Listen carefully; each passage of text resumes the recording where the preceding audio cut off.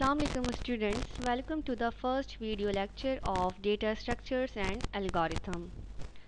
In this video I'm going to give you a brief introduction about data structures and algorithm.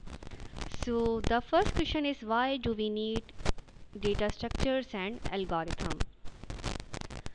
So data structures are so important that every computer science curriculum in the world includes a course about data structures and algorithm also, if you have attended any software developer job interviews in a good company like Google or Facebook or any good software development company, the chances are that one or a set of questions are asked about data structures and algorithm. Not just that, we interact with data structures on a daily basis. For example, here you can see open a file look up a contact on your phone, log in social network and the last one is web search. Let me tell you in detail. You open a file in your computer, the file system data structures are used to locate the parts of a file on a disk so that they can be retrieved.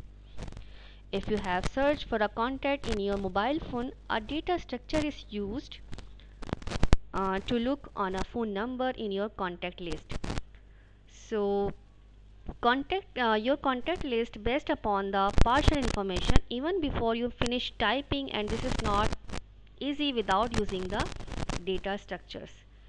If you have tired to log into your favorite social account uh, social network the network server uses your information to look up into your account information and if you are logging into a uh, into a famous social network like Facebook, Instagram or any other famous social network. They have billions of users and you can log into your account in a fraction of a seconds. And this is also possible due to data structures and algorithm. Last if you have uh, uh, data structures uh, and algorithm is the web search. So there are millions of web pages on internet and when you search your favorite word or keyword on a search engine the search engine uses the data structure to find the web pages containing your search term. So that's also not easy because this has to be searched out of billions of web pages and the appropriate results has to be served in front of you in a fraction of seconds it is said that the knowledge of data structures and algorithm is a very big differentiator between a good developer and an okay developer. So the knowledge of data structure and algorithm makes you a better software developer. Now before understanding what is data structure, actually we need to understand what is data. So data is a collection of facts from which you can draw any conclusion. For example, here is mentioned temperature and the fuel level.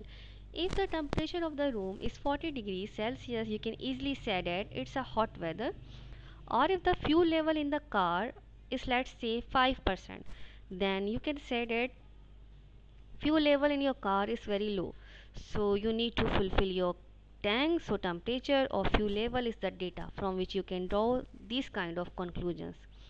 Now data can be presented in many forms it can be presented in the form of text. Um, text for example if you want to have some name or surname or address you can use this kind of data in the form of text or it can be represented in the form of numbers. For example somebody IDs or age or temperature or fuel level of the car can be represented in the numeric form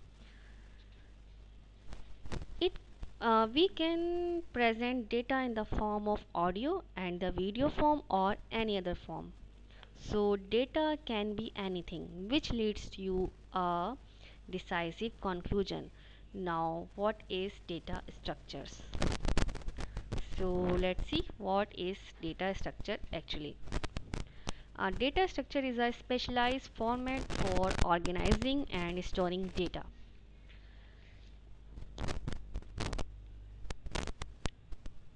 Data structure is representation of the logical relationship existing between individual elements of data. Yeah, we can say data structure is the logical or mathematical model of a particular organization of data. now whenever you write a software program you might have to deal with a group of data elements now there are many ways you can represent these groups of data elements for example by using arrays linked list trees queues stack yeah hashing.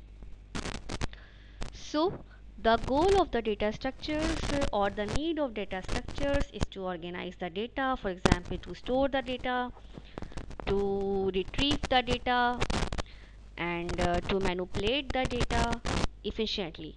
Now let's see what is algorithm. If I talk about the algorithm so algorithm is a clearly specified set of simple instruction to be followed to solve a problem. In a simple word we can say algorithm is a step-by-step -step procedure. Here you can see a simple example. Well ordered operations. Uh, if your hair is dirty then wet your hair lather your hair rinse your hair else go to the bed. These are the well ordered operation a sets of simple instructions. Here it's not necessary you have to write uh, numbers. It's depend on you so this is the very simple example of algorithm. Here's mentioned some other definition. Let's read out. Algorithm is a set of instruction as we have discussed so far written to carry out certain tasks and the data structure is the way of organizing the data with their logical relationship written. Well first is input second is the process and the third is the output. So an algorithm created with three important ingredients input process output. So first you need to provide some data as an input and then you process the data and from the processing of the data which you have inputted you get some output and a program. So